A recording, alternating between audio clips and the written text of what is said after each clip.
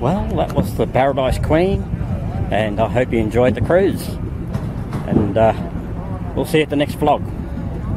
Bye.